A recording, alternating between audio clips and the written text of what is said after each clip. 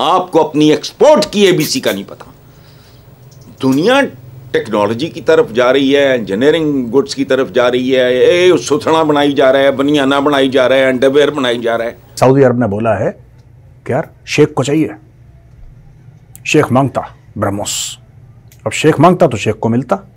असल में एक देखें कहते हैं स्टेट क्राफ्ट इंपॉर्टेंट डेवलपमेंट ये हुई है कि अमेरिका के अंदर अमेरिकी कांग्रेस ने एक एक्ट पास किया है। और इस एक्ट के बाद कॉर्ड बिल इसे कहेंगे बेसिकली यूएस ने जो कॉर्ड बिल पास किया है। ब्रोमो सुपरसोनिक मिसाइल एक दफ़ा फिर से जी वायरल हो चुका है पाकिस्तान में। ये कहा गया है कि स्ट्रेंथन करने हैं ताल्लुकात कोऑर्डिनेटल सिक्योरिटी डायलॉग यानी कि यूएस ऑस्ट्रेलिया इंडिया और जापान के। इनको पंद्रह बीस पच्चीस लफ्स आते हैं। अहनी हाथों से निपटेंगे मिली आँख से न दिखें चबन रोज में नित फिलाना। ये दस पंद्रह टर्में इन पे बैन लगा दो ये गूँगे हो जाएँगे। सऊदी अरब के ऊपर लोग हमला भी कर रहे हैं। खासतौर से यमन की ओर से सऊदी अरब को डेंजर है। वहाँ पे हुथीज हैं। भारत दुनिया में अब हथियारों का एक्सपोर्टर बनता चला जा रहा है। आप कैसे देखते हैं इस इस आने वाले सिनेरियो को? तो वहाँ पर इस वक्त पंद्रह हज़ार के करीब छोटी और बड़ी जो इंडियन जो कंपनीज़ हैं वो इस वक्त काम कर रही हैं। इधर जॉइंट वेंचर्स हैं उनके जो कतर के वहाँ पर लोग हैं कतर कंपनीज़ हैं या इंडिपेंडेंटली वहाँ पर काम कर रही हैं। तो आप इमेजिन करें कि ये फिर कितना अहम रोल प्ले कर रहे हैं वहाँ पर कतर की जो भी मीशत है। मोस्ट के ऊपर डिस्कशन चल रहा है। बहुत सी कंट्रीज़ दोस्तों बकिया वीडियो की तरफ़ जाने से पहले मैं बता दूँ कि वीडियो की हाईलाइट हमने देखी है और जो ब्रामूस मिसाइल है इंडिया का वो इस वक्त पाकिस्तान के जो क्रूज मिज़ाइल है, उससे काफ़ी हद तक एडवांस है और उसमें नई टेक्नोलॉजी का उपयोग किया गया और एक जो पाकिस्तान है, वो दुनिया में चौथे नंबर पे था जब पाकिस्तान ने ब्रह्मूस मिज़ाइल का, क्या कहते हैं, बनाया। तो लेकिन उसके बाद उसको इतना एडवांस नहीं हम कर सके कि वो इंडिया का जो ब्रह्मूस क्रूज मिज़ाइल है, उसका मुकाबला कर सके। तो वीडियो काफ़ी इंटरेस्टिंग है, बाकी वीडियो देखें, बाकी बातें बाद में करते हैं। सऊदी अरब ने बोला है कि यार शेख को चाहिए? शेख माँगता, ब्रह्मोस। अब शेख माँगता तो शेख को मिलता। ज़ाहिर सी बात है। ऐसा तो हो नहीं सकता कि शेख मांगे और शेख को ना मिले तो शेख को मिलेगा। लेकिन दोस्तों, क्यों चाहिए ब्रह्मोस मिसाइल सऊदी अरेबिया को? हमने फिलीपींस को दी। फिलीपींस बड़ा खुश है।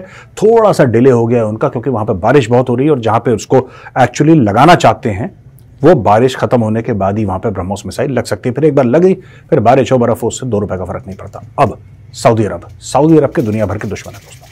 दुनिया भर के दुश्मन है राइट और सऊदी अरब के ऊपर लोग हमला भी कर रहे हैं। खासतौर से यमन की ओर से सऊदी अरब को डेंजर है। वहाँ पे हुथीज हैं, जो सऊदी अरब को पसंद नहीं करते। और सऊदी अरब के भी नेशनल सिक्योरिटी थ्रेट्स हैं। धीरे धीरे क्या हुआ है कि सऊदी अरब और भारत के बीच संबंध जो हैं, और मधुर होते चले गए हैं। हाल ही में स्मृति ईरानी जी थी वहाँ पे। आपका आपने फोटोग्राफ्स देखी होंगी उनकी? मदीना के मस्जिद के बाहर वो खड़ी हैं और लोगों से मिल रही हैं, उनकी फोटोग्राफ्स बड़ी वायरल हुई वहाँ पे। दोस्तों इंपॉर्टेंट डेवलपमेंट ये हुई है कि अमेरिका के अंदर अमेरिकी कांग्रेस ने एक एक्ट पास किया है और इस एक्ट के बाद कॉर्ड बिल इसे कहेंगे बेसिकली यूएस ने जो कॉर्ड बिल पास किया है, उसमें ये कहा गया है कि स्ट्रेंथन करने हैं ताल्लुकात कोऑर्डिनेटल सिक्योरिटी डायलॉग यानी कि यूएस ऑस्ट्रेलिया इंडिया और जापान के।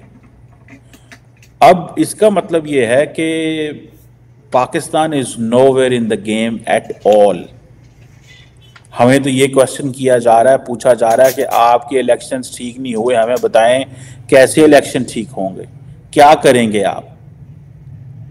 पाकिस्तान से ये पूछा जा रहा है।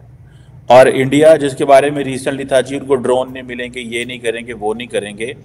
वो सारा कुछ विड्रॉ उन्होंने कर लिया है। अब जो सेनेटर ये एक हैं रिप्रेजेंटेटिव हैं ग्रीगोरी मीक्स ग्रीगोरी मीक्स जो है ये मैंने भी अपनी इनके साथ एक तस्वीर लगाई है। He was here in Islamabad and I met him थोड़ा अर्सा पहले और uh, मैंने कहा ज़रा अपनी भी पब्लिसिटी हो जाए। और ग्रीगोरी uh, मीक्स जो हैं इन्होंने एक uh, एक एक्ट जो था वो पा लेके आए थे। और ये एक्ट जो है, ये 2013 में लेके आए थे। 11 सितंबर 2013 को ये एक्ट लेके आए थे, जिसको अभी जो है वो बिल की शक्ल दे दी गई है। और इस बिल में क्या कहते हैं? ये है सवाल, जिसमें आपको मज़े की बात बताऊँ 379 लोगों ने वोट किया। और जिसे कहेंगे कि एक ही शख्स या दो शख्स इसके खिलाफ खड़े हुए। और उनमें एक कांग्रेस वुमेन इल्हान उमर थी from Minneapolis I don't know Ilhan Omar क्यों इसके खिलाफ थी, लेकिन जो कांग्रेसमैन ग्रिगोरी मीक्स हैं, जिन्होंने ये पास किया, जिनकी मेरे साथ तस्वीर लगी हुई है ये, और इन्होंने बिल लेके आए, इन्होंने ये पास कराया, और इन यही समझते हैं कि स्टेट डिपार्टमेंट जो है, वो कांग्रेस को रिपोर्ट दे और एक स्ट्रेटजी दे कि कैसे engagement chordal lateral security dialogue के जो मेंबर्स हैं, उनके साथ बढ़ाई जा सकती है। और वो कहते हैं कि हर तरह का कोऑपरेशन करना है इनके साथ इंडिया के साथ ऑस्ट्रेलिया के साथ जापान के साथ। और जो इम्पोर्टेंट चीज़ ये है कि जिनको नहीं पता, जो रिप्रेजेंटेटिव ग्रिगोरी मीक्स हैं, ये basically House Foreign Relations Committee के पहले चेयरमैन भी रहे हैं। और और अभी देखें वो जो कह रहे हैं और जिस चीज़ को वो आगे लेके चाह रहे हैं और वो ये है कि जो क्वाड है उसके ताल्लुकात को असेस किया जाएगा। रिलेशनशिप को कैसे आगे बढ़ाना है। स्टेट डिपार्टमेंट हमें सुजेस्ट करेगा। Particularly economic engagement integration innovative technologies में नेक्स्ट पेंडेमिक क्या आने वाली है। क्या हो सकता है? और हम इंडिया के साथ मिलके और बाकी मुल्कों के साथ मिलके क्या कर सकते हैं? ये लेजिस्लेशन आ गई है। So it means bipartisan support है। White House Congress civil society judiciary everybody is supporting India हर कोई इंडिया को सपोर्ट कर रहा है और बड़े तगड़े अंदाज से सपोर्ट कर रहा है। बहुत तगड़े। हमें तो वो कह रहे हैं जनाब, अब आप एक अथॉरिटेरियन रजीम है और हम चेक कर रहे हैं आपकी पोजीशन क्या है। हम चेक कर रहे हैं और वो जो कहते हैं कि जिसे कहते हैं कि स्टेट डिपार्टमेंट अब एक स्ट्रैटेजी बनाएगा इन तमाम ममालिक के साथ। एक inter parliamentary intra parliamentary working group बनेगा। और लेजिस्लेचर्स के दौरान। और ये भी वो कहते हैं कि पूरी दुनिया में अथॉरिटेरियनिज्म बढ़ रही है। एक क्वेश्चन आता है कि जब अमेरिकन चाइनीज़ अथॉरिटेरियनिज्म देखते हैं, और जब इंडिया के बारे में सवाल आता है, जी वहाँ पे इलिबरल डेमोक्रेसी है तो people will say oh no we we believe in democracy which is in India we don't call for a democracy हम अथॉरिटेरियन जी दोस्तों, हमने वीडियो देखी वीडियो में हमने देखा, जी पाकिस्तानी मीडिया पे बैठ के लोग बातें कर रहे हैं हसन साहब साहब भी बातें कर रहे हैं, लो जी, हम आइनी हाथों से निपटेंगे, हम कोई मैली आँख से देखेगा, हम उसकी आँख निकाल देंगे। लेकिन मसला ये है कि अपने आप को वक्त के साथ एडवांस करना पड़ता है। ये जो हमारे देश में सिर्फ़ सिर्फ़ कहीं बनैन तैयार हो रही है कहीं कच्चे तैयार हो रहे हैं कहीं क्या कहते हैं टी शर्टें तैयार हो रही हैं। कोई इस तरह की एडवांस टेक्नोलॉजी हमारे देश में तैयार होती नहीं है।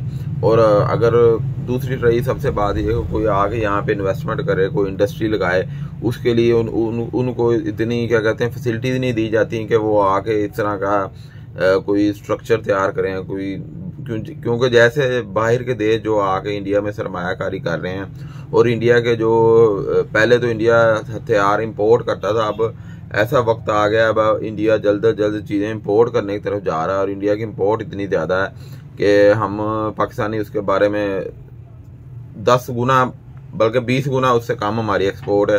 हमारी एक्सपोर्ट और इंपोर्ट में बहुत ज़्यादा डिफरेंस है। और रही दूसरी बात यह है कि कोई भी इन्वेस्टमेंट किसी देश में कैसे आएगी, इसके बारे में तो आप बेहतर जानते हैं कि पाकिस्तान की जो इकोनॉमी की सूरत हाल है, वो भी बड़ी ख़राब है।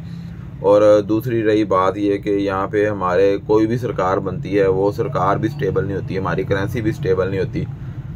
बहुत से अवामल हैं जिसकी वजह से हमें, हम दुनिया से पीछे रह गए और हम, हमारी जब भी नई सरकार आती है, उसका ये नहीं सोच होता कि हमने देश को कैसे तरक्की तरफ़ ले जाए। उनके सोच होती है कि हमने अगला कर्जा कैसे लेना है किसी भी वर्ल्ड के इदारे से आईएमएफ से या वर्ल्ड बैंक से या और दूसरे कई सोर्सेज इस्तेमाल करते हुए तो हमने कर्जा लेना है पुराने कर्जे का इंटरेस्ट उतारने के लिए। तो यही डिफरेंस है, अगर किसी देश को अच्छी क्यादत मिल जाए, जैसे इंडिया को आप मोदी साहब मिल गए हैं, उन्होंने चार चाँद लगा दिए इंडिया की तरक्की में तो मैंने सुना है कि इंडिया ने तारीख में एक दफ़ा कर्जा लिया था, उसके बाद उन्होंने उससे सबक सीखा और आगे बढ़ गए। और एक हमारा देश है, वो कई बार कर्जे ले चुका, सोलह सतारह दफ़ा कर्जा ले चुका है और इन्होंने ये सीख नहीं सके, भाई, हम हम दूर किसी से क्या सीखे? हमें अपने हमसाए से सीखना चाहिए कि कैसे वक्त के साथ साथ इंडिया ने अपने आप को डेवलप किया और पाकिस्तान कितना पीछे रह गया। एक वक्त था पाकिस्तान इंडिया से आगे था, लेकिन अब के अब के वक्त में इंडिया पाकिस्तान से बहुत आगे निकल चुका है। तो आपकी इस बारे में क्या राय है? अपनी राय कमेंट में ज़रूर दीजिएगा। मिलते हैं अगली वीडियो में, अपना ख्याल रखिएगा। और इस तरह की मजीद वीडियो देखने के लिए हमारे चैनल को सब्सक्राइब करें। मिलते हैं अगली वीडियो में। Bye bye